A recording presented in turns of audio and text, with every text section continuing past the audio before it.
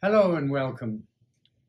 I'm here to talk to you about the Credo Personality Profiling System, or CPP for short. Uh, my name is uh, Professor Peter, and uh, I've been uh, closely involved with what now is more than five decades of research in developing and improving uh, the instrument. So what we do is profiling for people to better understand themselves.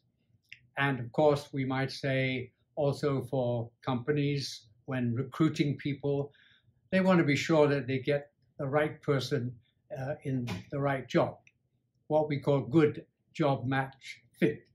We, we don't want square pegs in round holes.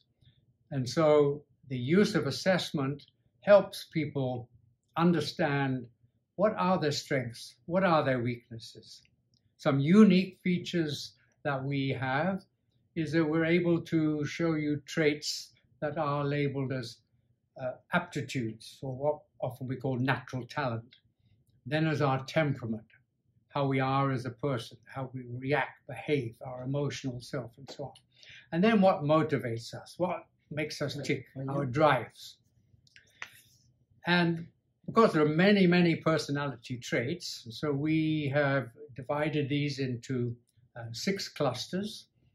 And um, what is also unique about the CPP is that these clusters can be divided into what we call our thinking self, our cognitive or thinking self, and then our emotional self but also whether we tend to prefer to use our left brain hemisphere more than the, the, the right. And, and so we often call it a whole brain profiling uh, system.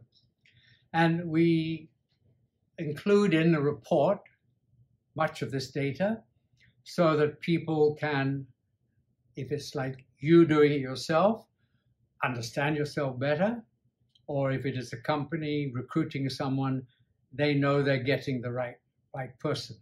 So we want you to reach out uh, today, take action, uh, contact Traits Quest, and you'll never regret it, and it may change your life, of course, for the best.